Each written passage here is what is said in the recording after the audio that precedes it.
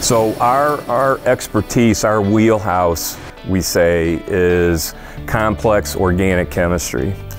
So we, we have the technology organization that can help develop a synthesis route, develop the chemistry to be able to produce that product. We have the capability to take a package from a customer that's already been developed and even optimize it with, with the expertise of our, our, our chemists in our, in our technology group. As we get new products into the plant, we will develop a process in our development laboratories and then pass it off down the hall to the process hazard evaluation and scale up lab.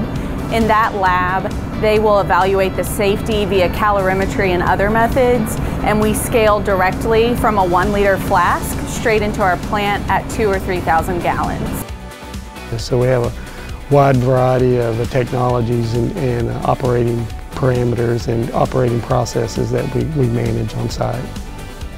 We have a wide variety of scale of our products. We have some that are just uh, maybe a few batches a year, maybe a few hundred thousand pounds all the way up to several million pounds, both batch-wise and continuous. So we're able to satisfy customers that have um, small demand products and we're also able to go to large scale, both liquid and solids production. We've done uh, large scale, you know, up to close to 100 million pounds of a solid product for our customers. We do uh, several million pounds and tens of million pounds a year of several different liquid products as well.